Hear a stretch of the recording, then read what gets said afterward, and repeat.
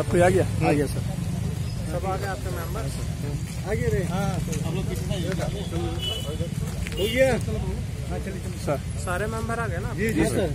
Sir. क्या देखिए हम लोग कल रात को यहाँ पे जाँच नहीं कर पाए थे क्योंकि उस वक्त काफ़ी गर्म था और अंधेरा हो गया था।